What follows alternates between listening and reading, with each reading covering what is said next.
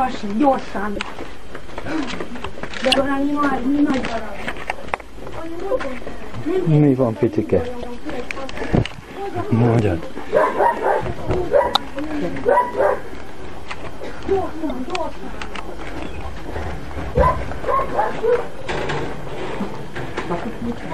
A Nóránál van. Bíztunk benne az utolsó pillanatig abban, hogy kedvelődöntés lesz, vagy a végrehajtás kérő fogja beadni a derekát, ugyanis a 30 napot kért a, a bentlakó korábbi tulajdonos arra, hogy, hogy meg tudja oldani a, a családnak a lakhatását.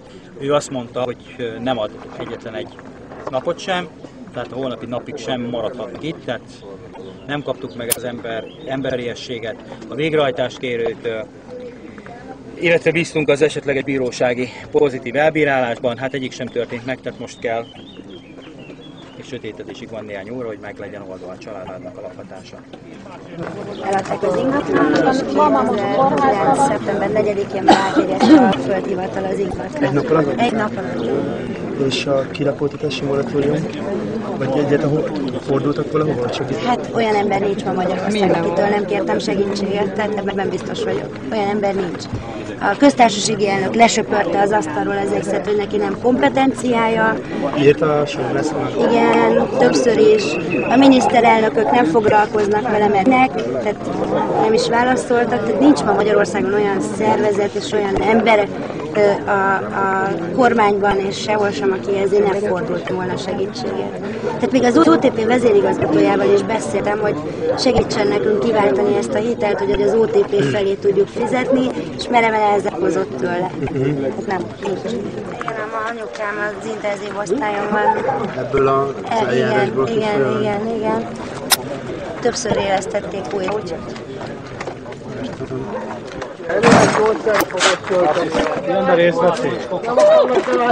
Így járjon a családot, te szemétláda! Te mocsok szar! Így járjon! Bazd meg, mint buzi a faszár. Nem figyelitek a tokat?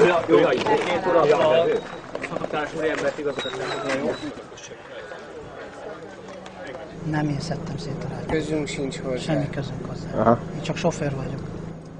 Én sofőr vagyok csak. Értem, de nem tudom, az ön kezébe akkor nem, nem jól láttam a, a zárakat? Zárakat? Az Én csak elzett- hoztam a zárat. Bocsánat. Az elzett zárat, amit, csak amit láttam az ön kezébe. Nem tudom, akkor biztos rosszul láttam. Igen.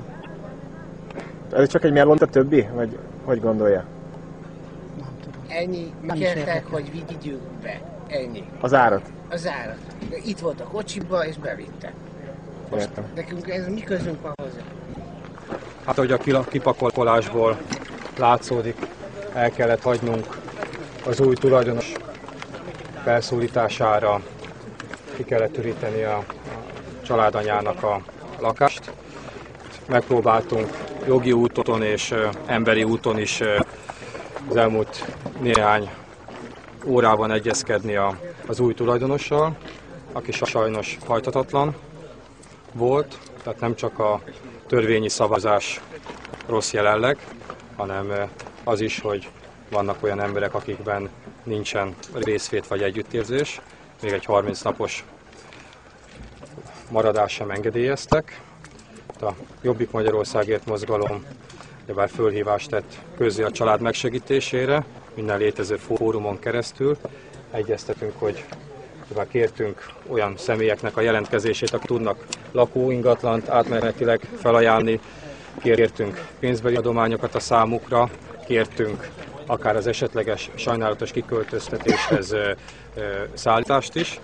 Folyamatosan jönnek a, a felajánlások, de ezekkel érdemben nem tudtunk foglalkozni, mert eddig tárgyaltunk. Ezen ügy kapcsán a Jobbiknak a jogászai elkészítettek a mai nap folyamán egy országgyűlési határozati javaslatot, amely az ilyen esetekre nézve ezekre az átmeneti időszakban is megakadályozná más családoknak a hasonló módon való kiköltöztetését. Mi ezt az országgyűlésben megvívjuk mag- majd magunk, reméljük, hogy más pártok is fölsorokoznak mellettünk, viszont ennek a családnak a, a fájdalmát és nehézségeit, hogy ma még nem tudja, hogy hol kell nyugovóra hajtani a fejüket a öt gyermekkel, és közben a közvetlen családtag, a nagymama súlyos állapotban, életveszélyes állapotban, amit az eset miatt Szent Imre kórház sürgősségi osztályán van, az ő nehézségüket meg fájdalmukat ez nem csillapítja. Kihasználtunk minden jogi és emberi lehetőséget, akkor kellett elhagynunk a, a helyszínt. A végrehajtás beindult, a családnak 30 napja van, hogy az ingóságait elvigye innen a, az ingatlanból, viszont mi a továbbiakban is dr. Gyüre Csaba országgyűlési képviselő és ügyvéden keresztül, meg a családügyvédjén keresztül mindent megteszünk, és a politika médiabeli információ lehetőségeinket mind felhasználjuk arra, hogy, hogy nyomást gyakoroljuk a politikára is, és nyomás és fölhívjuk a, a bíróságnak is a figyelmét arra, hogy ebben a konkrét esetben is sürgessen meg a saját ügymenetét, és tartsa magát a hatályos magyar törvényi jogszabályhoz, jogszabályokhoz. Én, mi most még itt a logisztikában segítkezni fogunk. Én szeretném is a Jobbik Magyarországért mozgalom frakciója nevében egyfajta ilyen pénzügyi gyorsegélyként, amit hirtelen összegyűjtettünk 100 000 forint pénzadományt átadni a Jobbik frakciójának a nevében. Tudom, hogy ez sokat nem segít, és a lényeget nem enyhíti, de azért mégis a következő napokra a gyermekeknek valami fajta átmeneti segítséget jelenthet.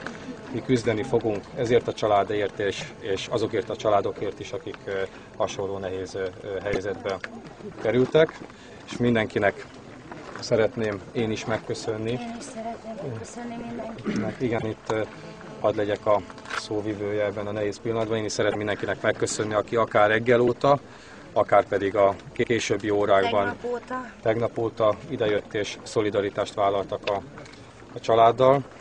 Magát a, a konkrét célt, ha bár nem sikerült elérni és nem maradhattak itt, viszont ezzel a fajta demonstrációval és kiállással ebbe a, a, az utcába most országos média figyelem középpontjába került ez az eset, és a hasonló sorsú emberek helyzete, és reményeink szerint ez a fokozott média érdeklődés és politikai érdeklődés meg fogja könnyíteni az ő ügyüknek is a, rendezését, ami nem jöttetett volna létre, hogyha nem vagytok ti itt mindannyian, és nem tartotok ki mellettük. Tehát ezt köszönjük szépen a család és a Jobbik nevében is. Én köszönöm szépen itt a, a, a egyeztettünk a biztosítás parancsnokával is.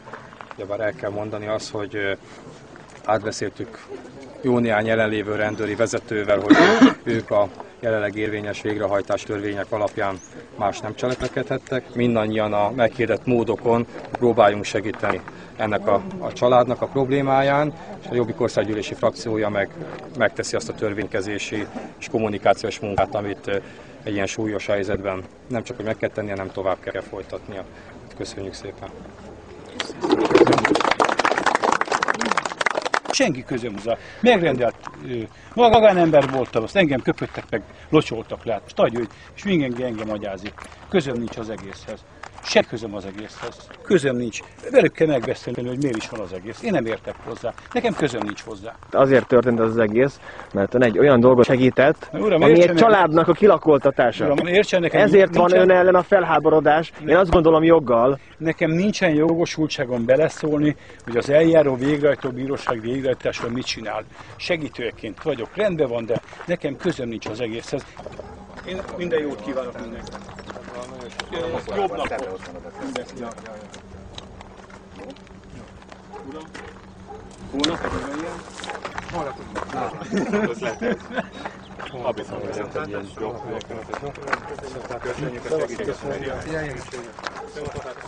Ennek ilyen is most már. Azt hadd kérdezzem meg, most itt hallottam, hogy kérdezte az úrtól, akivel kérdezte fogott, hogy holnap egy ugyanilyen. Szívesen vállalná? Nem veszik el a kamerát tőle. Na, az enyém a kamera azért, uram.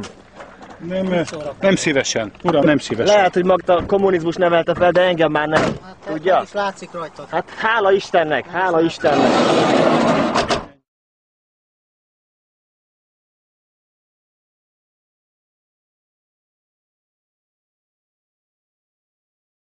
Kívánok. Jó napot kívánok mindenkinek!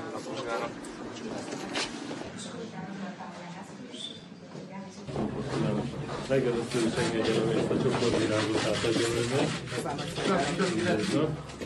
Ez az első lakás, amit önnek rendőrként, három gyerekes anyaként átadhatunk, hogy engedje meg, hogy ezzel a levéllel és ennek a lakásnak a kulcsával, amit a főváros címere díszít, átadjam önnek ne csak a kulcsot, hanem a lakást is.